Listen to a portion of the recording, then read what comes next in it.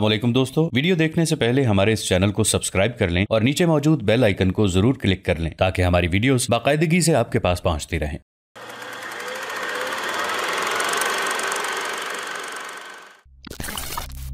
कोशान खान ने अपनी तलवार अपने सामने लहराई, फिर कहने लगा, अपने दिल के करतास पर लिख रखो, मेरा नाम कोशान खान नहीं है मेरा नाम निजामुद्दीन है और मैं सुल्तान अलाउद्दीन खवारजम शाह के लश्कर का एक सालार हूँ। मर्रखीन लिखते हैं कि निजामुद्दीन सुल्तान अलाउद्दीन खवारजम शाह का वो आला पाए का इंतहाई मुखलिस और जानिसार सालार था जिसकी कारगुजारी और जिसकी जरूरतमंदी और दलेरी से मुतासर होकर अलाउद्दीन खवारजम शाह ने उसे फखरुल मुल्क का खिताब दिया था। उसके साथ दो और भी सालार थे, जिन्हें अलाउद्दीन खवारजम शाह ने नवाजा। एक आरिज जोजी जिसे सुल्तान ने जियाउल मुल्क का खिताब दिया और तीसरा उमर काफ़ी, जिसे मजीरुल मुल्क का खिताब दिया गया था। कुछ देर रुककर कोशान खान, जिसका असल नाम निजामुद्दीन था, बोला और कहने लगा सुल्तान को किसी ने यह बता दिया था कि बगदाद का एक वफ्त चंगेज खान की तरफ़ गया है ताकि चंगेज खान को मुसलमानों के इलाकों पर हमलावर होने की तरगीब दे। खसूसियत के साथ खलीफा बगदाद ये चाहता था कि चंगेज खान सुल्तान अलाउद्दीन पर हमला आवर होकर उसका खात्मा कर दे। इसलिए कि खलीफा बगदाद को ये वहम हो गया था कि अलाउद्दीन खवारजम शाह की ताकत और कुत में बेफना इजाफा हो चुका है। लिहाजा खलीफा बगदाद की नस्बत लोग अलाउद्दीन खवारजम शाह की ज़्यादा इज़्ज़त और अदात करते हैं। इस बिना पर उसने तुम लोगों को चंगेज खान के पास भेजा और जो पैगाम चंगेज खान के नाम तुम लेकर गए थे, वो पैगाम तुम्हारे साथी, जिसके सर पर बाल नहीं है, इसके सर पर लिखा गया था। और बाल जब बड़े हो गए, तब इसे रवाना किया गया। क्या तुम इस बात को मानते हो? जरा रुकने के बाद कोशान खान यानी निजामुद्दीन फिर बोला और कहने लगा, रही बात बदरुद्दीन तुम्हारी। तुम कभी तिब्रिस्तान के हाकिम थे, लेकिन चूँकि तुम्हारी हाकिमियत जाती रही, कुछ जराइम की वजह से तुम्हारे बाप और चचा को सुल्तान ने मौत के घाट उतार दिया और तुम अपनी इस जाती गरज को सामने रखते हुए चंगेज खान के पास गए। उसे तरगीब दी कि वो सुल्तान अलाउद्दीन ख्वारजम शाह पर हमलावर हो जाए। तुम सब जरा अपने गिरबानों में झाँक कर देखो। क्या तुम जैसे गद्दारों को मुसलमानों की सरजमीन में दाखिल होना चाहिए? और क्या तुम लोगों को मुसलमानों के अंदर ज़िंदा रहने का हक है? इसके साथ ही बगदाद के वफ्त और बदरुद्दीन की तो के खिलाफ निजामुद्दीन एकदम हरकत में आया। उसने तलवार लहरा कर गिराई और बदरुद्दीन की गर्दन काट दी।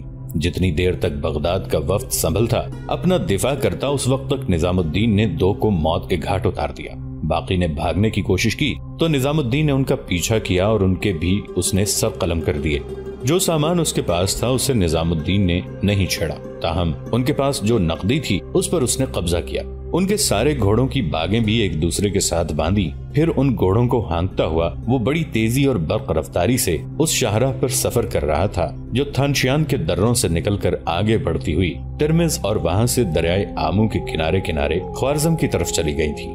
सुल्तान अलाउद्दीन ख्वारजम शाह को निजामुद्दीन के ख्वारजम शहर में दाखिल होने की पहले ही इत्तला कर दी गई थी। लिहाजा जिस वक्त निजामुद्दीन ख्वारजम शहर में दाखिल हुआ, उसी वक्त सुल्तान ने अपने सारे सालारों और सरकर्दा उमरा का इजलास तलब कर लिया और साथ ही निजामुद्दीन के लिए ये भी पैगाम दिया कि वो सीधा कसर में आकर सुल्तान से मिले। चुनाचे निजामुद्दीन, जो निशापुर का रहने वाला था, सीधा कसर की तरफ़ गया। कसर के सदर दरवाजे के पास कुछ लश्करी उसकी तरफ़ लपके। उसका घोड़ा उससे ले लिया। फिर निजामुद्दीन कसर के एक कमरे में दाखिल हुआ।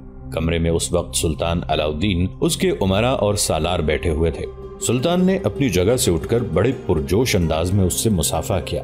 उसके बाद निजामुद्दीन बड़े सालारों में से जियाउल मुल्क आरिस जोनी मजीर मुल्क, उमर काफ़ी और दूसरे सालारों में से कोख खान, खमीद बोर, सौंज खान, कशली खान, अलबाज खान, बाला खान, अल्प खान, अबू मोहम्मद अबू सबस्तान, तगीन बेग बागा खान शेख खान और अनमोल कश्तगीन से मुसाफा करते हुए मिला। फिर सुल्तान के करीब वो आरिस जोनी और उमर काफ़ी के पास जाकर बैठ गया। फिर सुल्तान के पूछने पर निजामुद्दीन ने चंगेज खान के इलाकों में जाकर जो कुछ उसे पेश आया था, तफसील के साथ बयान किया था।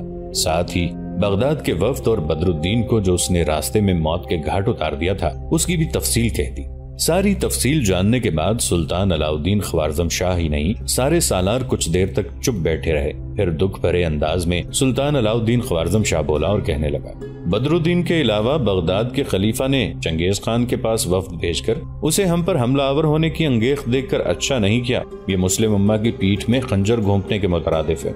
खलीफा बगदाद अगर ये समझता है कि वो हमें तबाह बर्बाद करने के बाद मुस्लिम उम्मा में हर दिल अज़ीज़ शख्सियत बनकर उभरेगा तो ये उसका वहम, उसका धोखा और फरेब है। उसके पास ना तो कुत है, न ताकत। लोग इन लोगों का एहतराम बनु हाशिम के अफराद समझ कर करते हैं, वरना उनमें कोई खासियत नहीं। हम लोग मुसलमान की हैसियत से उनके बदरजहा बेहतर हैं। बगदाद कभी वो शहर था जो साहिब सैफ लोगों की आमाजगाह थी।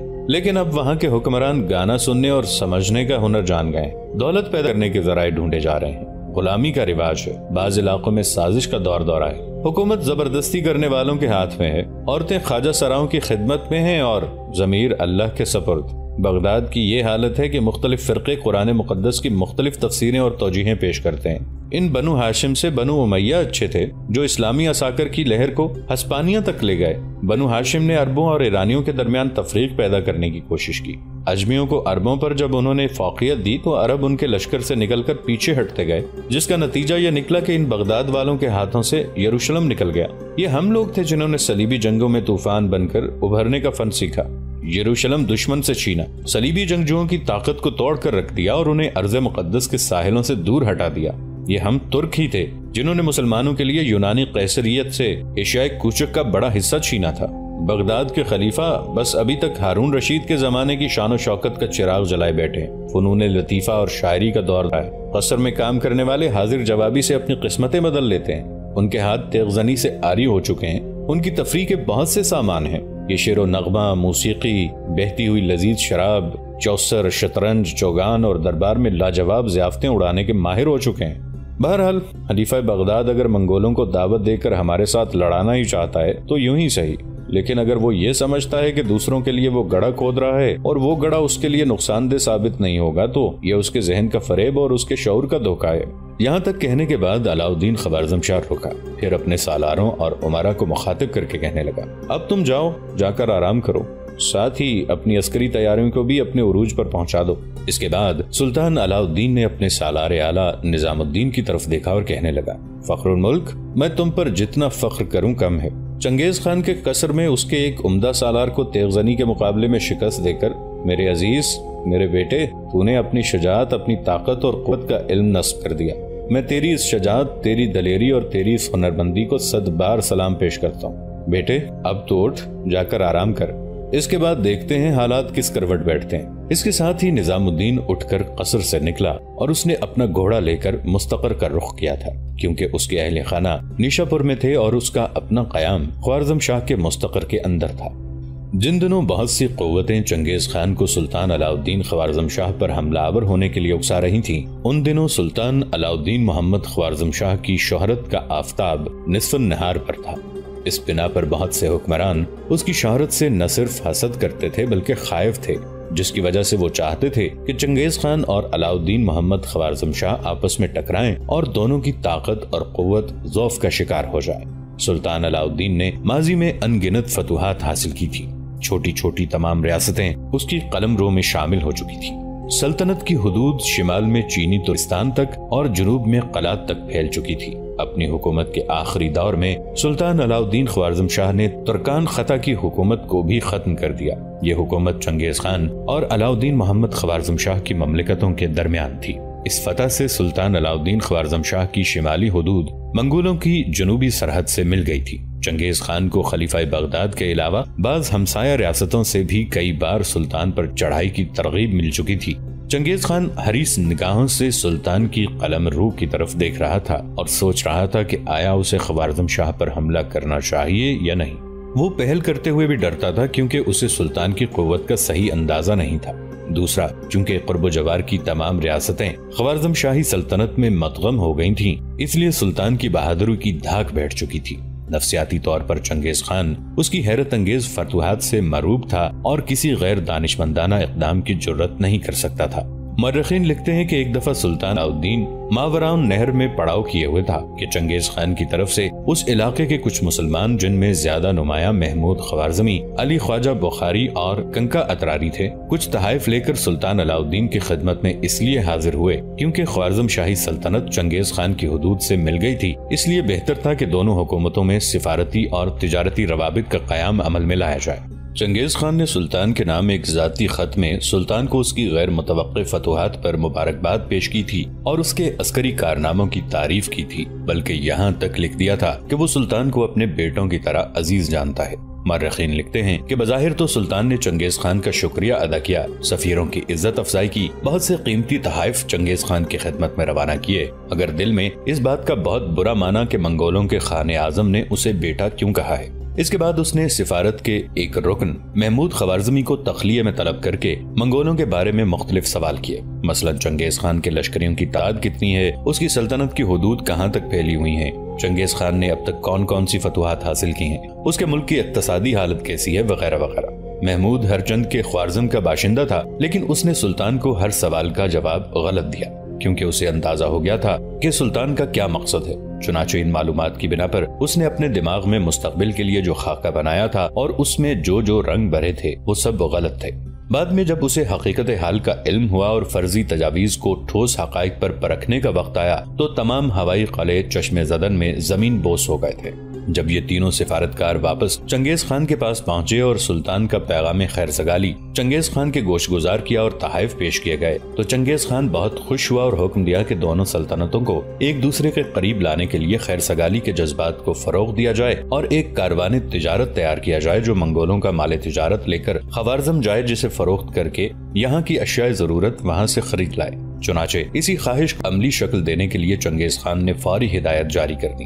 मर्रखीन लिखते हैं कि चंद दिनों के बाद एक कारवान जो 400 मुसलमान ताजरों पर मुश्तमिल था और वो ताजर चंगेज खान की ममलिकत में रहते थे। बहुत सा कीमती सामान तजारत लेकर मंगोलिया से खवारजम रवाना हुए और सुल्तान अलाउद्दीन खवारजम शाह के शहर अतरार के मकाम पर जो सुल्तान की सरहदी चौकी थी, वहाँ आकर ये कारवान ठहरा। इस सरहदी चौकी का बंदोबस्त सुल्तान के एक मामू के सपुर्द था, जिसका नाम एनल हक था। जब एनुल हक की नज़र उस बेअंदाजा माल पर पड़ी तो उसकी नीयत में फतूर पैदा हो गया और वो सोचने लगा कि कोई ऐसी तजवीज पैदा हो कि वो इस माल को हथिया ले आखिर बड़ी सोच बचार के बाद उसने सुल्तान को लिखा कि मंगोलिया का 400 अफराद पर मुश्तमिल एक काफिला, जो खुद को ताजर ख्याल करते हैं, अतरार में उतरा हुआ है। उनका इरादा ये है कि यहाँ से रवाना होकर खबारजम जाएँ और खरीदो फरोख्त के बहाने अंदरून मुल्क इधर उधर चक्कर भी लगाएँ। चुनाचे ये लोग ज़्यादातर जासूस मालूम होते हैं, जिन्हें चंगेज खान ने दरियाफ्त हालात के लिए तजरों के भेस में रवाना किया है और जिनका अंदरून मुल्क जाना मसलहत मुल्की के खिलाफ मालूम होता है, लिहाजा मैंने उन लोगों को रोक लिया है, ताकि जब तक आपके अहकाम मौसू न हो, ये यहीं ठहरे रहें इसलिए मैं आपके अहकाम का मुंतजर हूँ मर्रखीन मजीद लिखते हैं कि जिस वक्त ये खत सुल्तान के सामने पेश हुआ, उसे फ़ौरन उन अफवाहों का ख्याल आया जो चंगेज खान की सिफारत के आमद के मौके पर दारुल हुकूमत में फैल गई थीं और अक्सर लोगों को ये कहते सुना गया था कि सिफारत तो महज दिखावा है, असल मकसद दरियाफ्त हाल है। नीज सुल्तान को चंगेज खान का वो फिक्रा भी याद आ गया जिससे सुल्तान बजाय मसरूर होने के कबीदा खातिर हो गया था। चुनाचे अवाकब और नतज का अंदाज़ा किए बगैर सुल्तान अलाउद्दीन खवारजम शाह ने अपने मामू एनुल हक को लिख भेजा कि अपनी सवाबदीद के मुताबिक जो मुनासिब हो, उस पर अमल करो। एनुल हक ने सोचे समझे मंसूबे के मुताबिक हुक्म दिया कि काफिले के तमाम अफराद कत्ल कर दिए जाएँ और उनका मालो मता बहक सरकार जब्त कर लिया जाए। चश्मे जदन में तमाम ताजर मौत के घाट उतार दिए गए। सिर्फ़ एक आदमी जो इत्तेफाक से उस वक्त मौजूद न था, कत्ल होने से बच गया।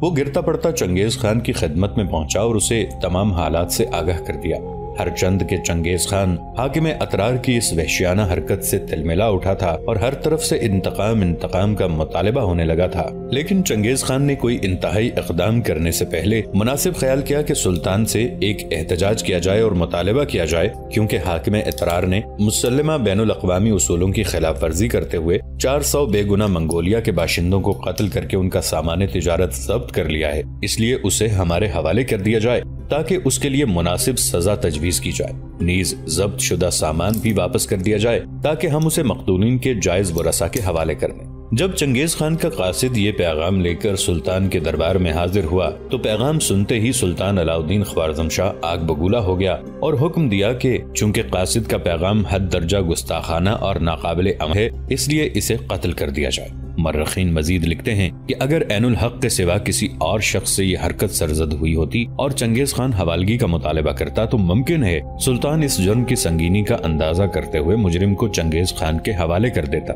मगर हाथ में अतरार, सुल्तान अलाउद्दीन का सगा मामू था और फिर जिस कबीले से वो ताल्लुक रखता था, उसका सुल्तानी दरबार और लश्कर में इतना असर रसूख था कि अगर सुल्तान कुछ करना भी चाहता तो कुछ कर ना सकता। चुनाचे सुल्तान की इस आकबत ना अंदेश हरकत ने जल्दी पर तेल का काम किया और चंगेज खान ने पक्का इरादा कर लिया कि वो ख्वारजम शाह को ऐसा मज़ा सिखाएगा जिसे वो सारी उम्र याद रखे। चुनाचे उसने अपने लश्करियों को तैयारी का हुक्म दे दिया। सुल्तान खवारजम शाह की जाती कमान में उस वक्त तकरीबन चार लाख लश्करियों का एक जमा गफीर था। उसे यकीन था कि चंगेज खान ज़रूर हमलावर होगा। चुनाचे उसने हुक्म दिया कि तमाम कलमरू में रियाया से एक साल के महसूलात जंगी ज़रूरत के लिए पेशगी वसूल कर लिया जाए। नीज दुश्मन के मुकाबले के लिए मजीद लश्करी भर्ती किए जाए। अभी इस मंसूबे पर अमल शुरू हुआ ही था कि खुदा जाने सुल्तान के दिल में क्या ख्याल आया कि उसने दुश्मन से मुकाबला करने का इरादा तर्क कर दिया।